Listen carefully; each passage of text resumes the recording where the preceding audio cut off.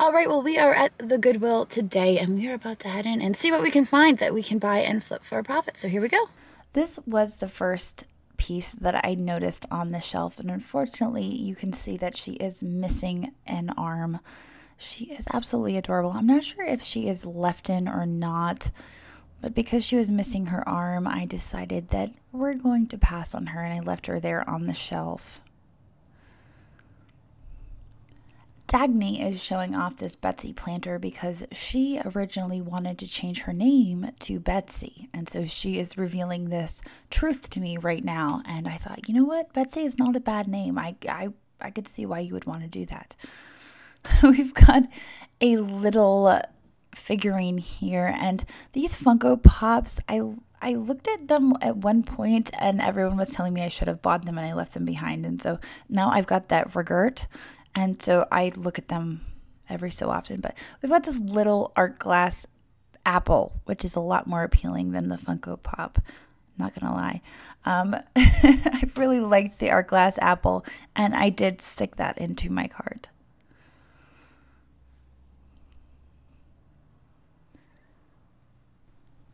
Here on the end cap, I spotted this tiki mug, and I have been trying to find tiki mugs to kind of merchandise our new tiki set that we acquired not too long ago. Uh, the entire Witco set.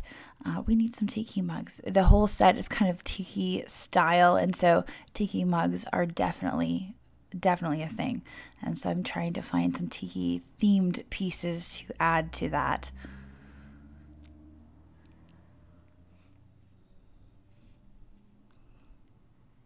Back here I noticed some vintage glassware, but it just I didn't see a very high resale value for the hassle that it would take to ship, and so I did pass on that.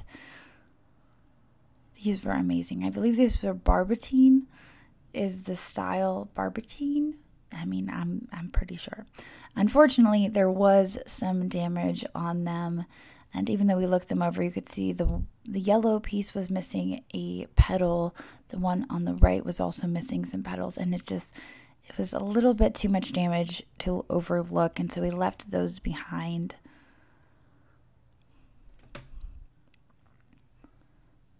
Dagny noticed this nice little swan here with the plastic flowers. In the back, I liked this creamer and sugar set. Unfortunately, you could see that the sugar was missing the lid. It seems like everything seems to be missing lids lately. It's like a missing lid conspiracy. Dagny found these really adorable little pea pods, and we were trying to figure out what these were. And so she did kind of play with them a little bit, and I could kind of make out that one said first tooth and first hair lock or something to that effect. So I think they were just little keepsakes. They were very adorable, but she did decide to leave those behind. We've got a block of cheese, and sure enough, there was a little mouse posing in the block of cheese, and I thought this was adorable.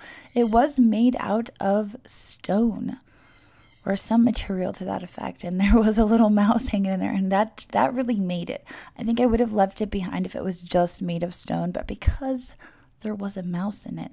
That really sold me on this piece. And we were, we were tapping it, trying to figure out is it resin? What is this made out of? Eventually, we decided it doesn't really matter. It's really cute. We'll take it with us. Uh, we've got a little owl there. We decided the owl need it, it belonged with its owl friends, and so we put them all together on the shelf. They were Taiwan. There you go. They're, they're all together there. They will find a home. Not with me, but somewhere. I liked this basket, but I just did not see a whole lot of resale value there. And I found the praying hands today. I feel like I won. I won that game.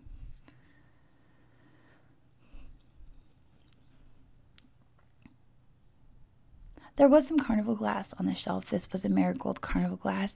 The carnival itself, the iridescence was very light. Ashton's singing. I don't know what's happening.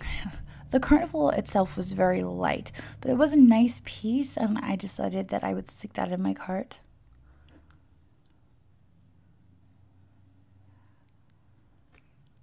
Dagny found this very sad little figurine on the shelf and his little butt said don't spank. I mean it was it was pretty sad. We left him there. But I found this really pretty little bowl and I actually considered it for 99 cents, but I figured it was probably an 8 eight dollar item, five to eight dollars, and I just didn't see it really worth it, so I left it. This little bag contained a hand painted egg with a little pedestal. It had a Canadian goose on it. And I know a lot of my viewers from Canada are like, that's not a Canadian goose. Um, here in America, we call them Canadian geese. We've got a bowl here, and I decided to look at this. It is a Falstaff. Dagny actually pointed out the fact that when she first got married, she she had that pattern of Falstaff. This is a Farberware holder for Cambridge glass. And so I was really interested to see if I would be able to find the piece that goes into this. I put it in my cart for $1.99, hoping that I would be able to find the rest of it. I did not. But I was just kind of hoping. I was holding on to hope. These looked like they had been made in Mexico for your margaritas. And I dropped something on the floor, so I had to pick that up and fix it.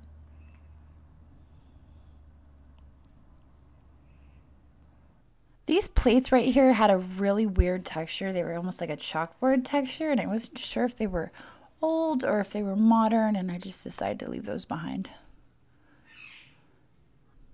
Over here, these did catch my eye. They kind of had that Farberware base, but they had a really neat glass insert. When I turned them over, they were Czechoslovakia. Unfortunately, you can see they had some chipping there. Dagny pointed out that some of them did not have chipping, and there were two with chips, two without. And I decided that I would take them with me because the two without chips I could sell. The two with chips, I might include them as extras, but they were really neat. And the Czechoslovakia was a seller for me. You guys know I have a soft spot for Czechoslovakia. This piece was interesting. I wasn't sure exactly what this was, and it seemed to be damaged. Unfortunately, there was something missing off of the top there. It looked like it was adhesive or something that something was maybe attached to the head and it had been lost. So I left that there on the shelf. There were actually two ashtrays here on the shelf. There was one for Hyatt and also a second ashtray. And I did leave these behind. There's not a super high resale value for these. There is some resale value, but I just didn't see a whole lot. And so I did leave those. And then this frog. I, I really liked this frog. I think this was an ashtray, possibly. And there was some damage there, some chipping. I liked the leaf art as well. But again, I left it.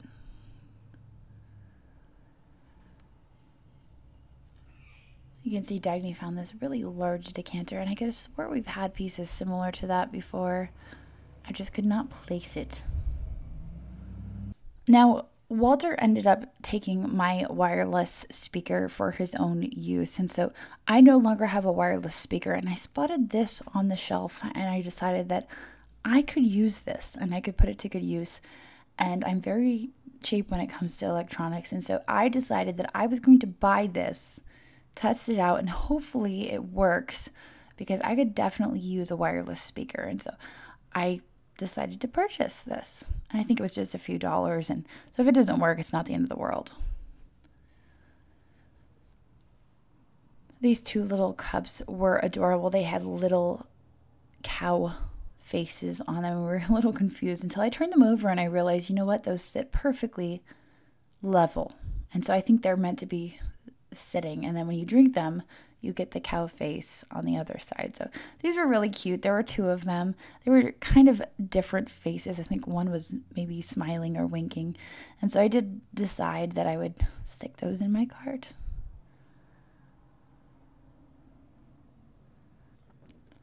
These dragonfly lights were also really neat. I thought, you know what, I could put those on my Christmas lights on my porch, and then it's not so tacky because I don't have my Christmas lights out all year round, suddenly they are dragonfly lights and not Christmas lights, and it's acceptable. but I, I really wasn't that committed. We've got some Duplo Legos. I thought of picking those up for our neighbors, but I don't know how much they're into really Legos, so maybe not. This is a Jim Shore figurine. I pick these up from time to time. They're usually broken though. I just don't know why, but they usually are. And unfortunately, she is missing her wings. I had spotted this lamp the last time I was here at the Goodwill and it's still there. I like this lamp. It's very retro. It's very vintage. It's cool. This one is also really neat. This is a nursery lamp. Obviously, it's Humpty Dumpty. It's $3.99. It's really cool. It's missing its original shade, but I feel like it's at least 20 bucks. And if I've only got four bucks into it, I can list it for 20 to 25 and I could still do all right on this. So I decided that I was going to live up to my name, Crazy Lamp Lady, and purchase this Humpty Dumpty lamp. Oddly enough, Juliet and I were at Target the other day and she was actually looking at buying one of these new. And let me tell you, they're pretty they're pretty spendy. I mean, new toys in general are pretty spendy. This is only $1.99 at the Goodwill. And I figured, you know what? I knew there was a reason we left that behind, and it was because I was destined to find it at the Goodwill for $1.99. And so I decided to stick this in my cart. Dagny found this adorable little piggy bank with the florals on the side, and there was no damage on it at all. It was in really good condition. It was really cute.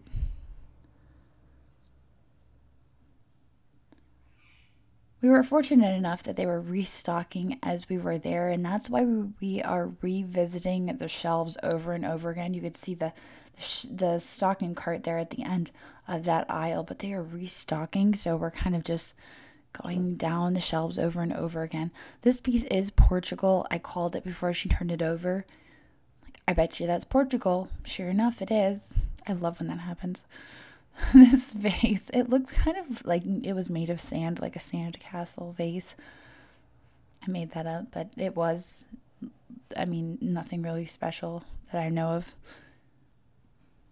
And then I found the cat's meow little village pieces. And I don't usually pick these up unless I can get them pretty relatively cheap. And these were really like $6.99 for the whole bag. And I just decided, you know what, that's a pretty good price. I'm going to grab those. Some of them have a pretty decent resale value, some of them are not so great. But when you get a big bag like that for as cheap as that, it's totally worth it. And then we found this. this is McCoy. This is McCoy vase. There were two items on the shelf, and I said to Dagny, You pick one, and I'll pick one. So she picked the McCoy vase, and that left me with this. And I absolutely loved this green glaze on this set. I'm not sure if this is a nut set or what exactly it is, but I loved the green glaze. So I gave her the choice of picking one and I decided that I was going to choose this and I I just absolutely loved it. So we both got something we loved and we were debating whether or not it was there the first time we came through and we just missed it because we were so focused on the barbotine but i think as they were restocking they set it up on the top shelf. So there you go. That's the benefit of waiting until the shelves are stocked because you come across these amazing things. And there's another apple. Go figure. Look there there's another apple.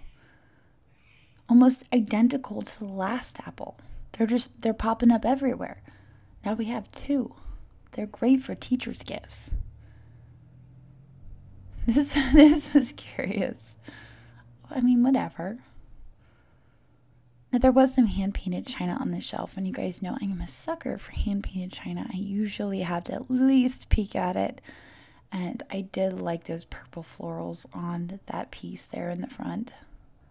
There were some weird New Jersey mugs here on the shelf that Dagny pointed out, and they were made in England, but I wasn't really sure where these came from. But they were an interesting collection. They kind of had this really sandy texture that you could almost file your nails on, so we left those behind. And over here, I did like this bowl. It was Gibson, obviously.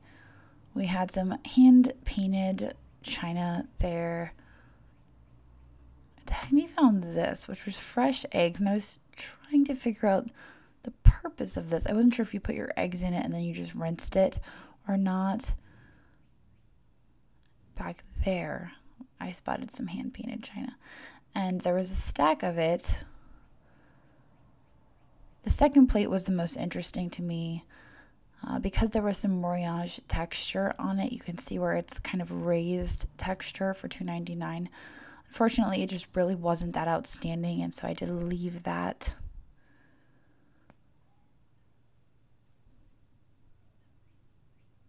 There was another cat's meow, but there on the bottom you can see that it does have some water damage.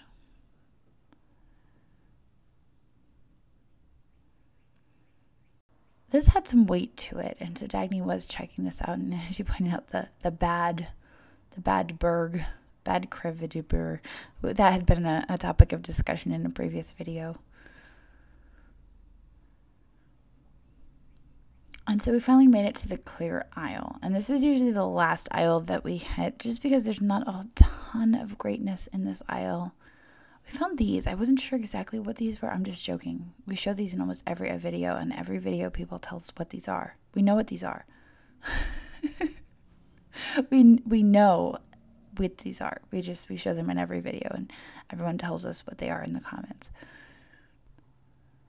There was a nice little perfume bottle on the shelf, and it did have some etching on it. I didn't suspect it was terribly old, probably vintage, not super old, and I left it.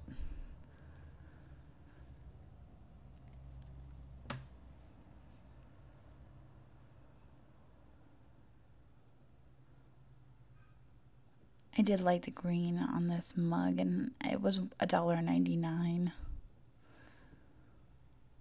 Down here, I spotted these two blue pitchers. One was a crackle glass, one was just a normal glass. They were both blue though, and I liked the applied glass handles. For $1.99, I figured that I could probably get anywhere from 12 to $18 for each of them, and so I decided that I would stick those in my cart.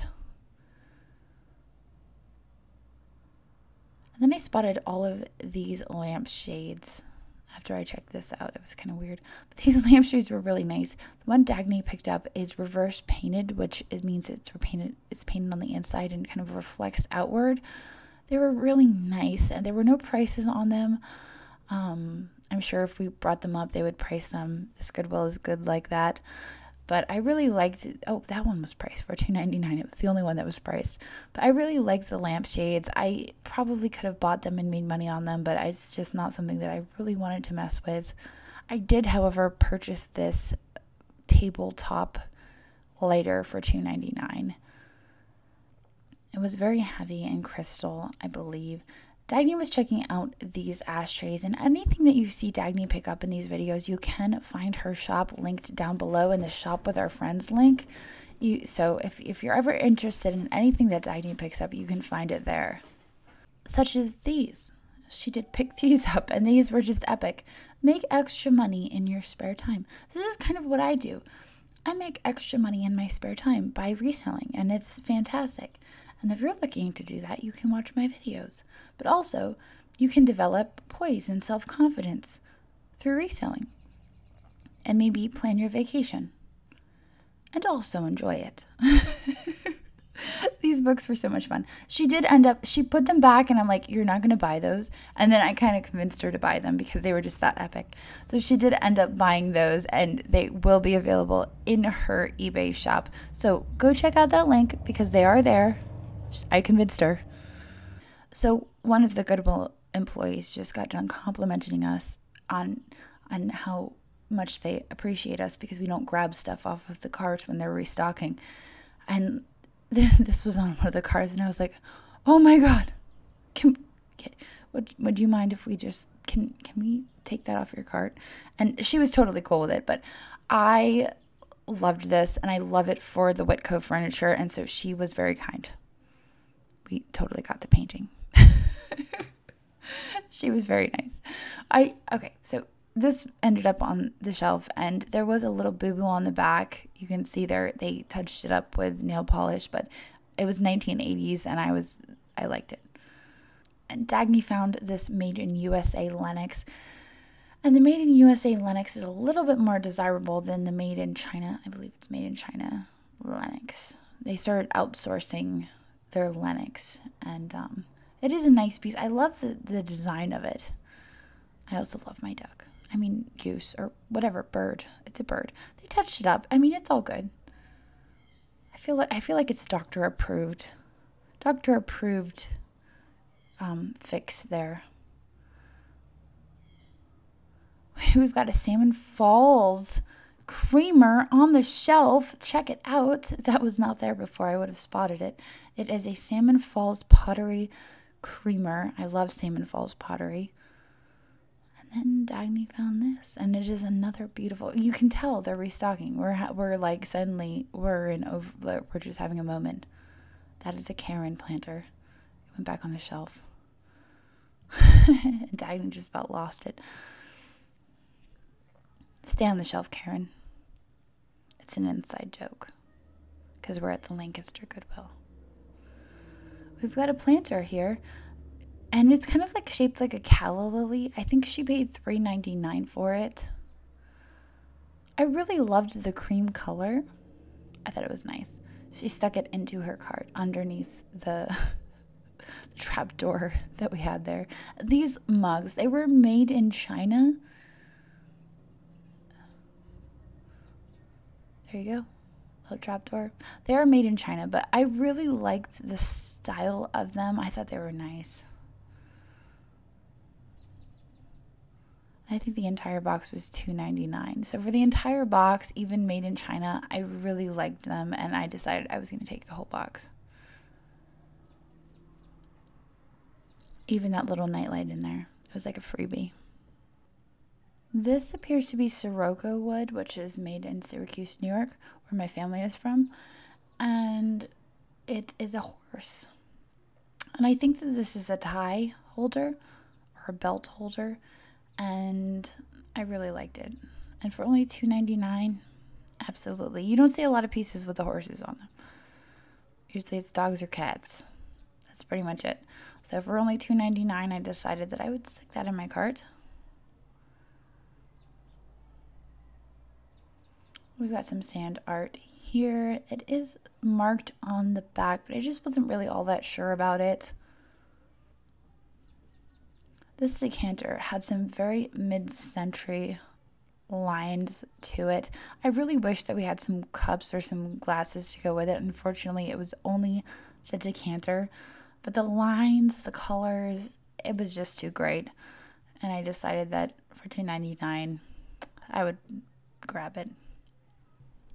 This doll was on the shelf, and I wasn't really sure about this doll. Um, I liked, I liked her. I felt like she was vintage. There was no price on her, and they did price her at the checkout. I can't remember how much we ended up paying for. I think ninety nine cents, but she was fantastic, and I'm not really sure her origin. So if you know anything about this doll, please leave it in the comments because I'm not really an expert on dolls. I usually avoid them. and then we found this. And I brought this home. I knew I had to have it. I brought this home, and Andrew is constantly quoting Chris Farley. He's like his favorite. And so I saw this, and it's already in the frame. It's beautiful, it's fantastic. And I decided, you know what? I need this. I need to give this to Andrew. He's the, the only person that needs this. And so I brought it, and for 99 cents, Absolutely, and I gifted it to Andrew. Before we left the store, we did go through the purses, and I found this princess purse. I liked the princesses on the front. It had a, a, nice little variety of princesses. I looked inside. It was marked Disney Parks or something to that effect. And so I feel like that's kind of official Disney Parks, right? Disney. So I really did like this purse, and I figured if there's no resale value, I will gift it to Juliet.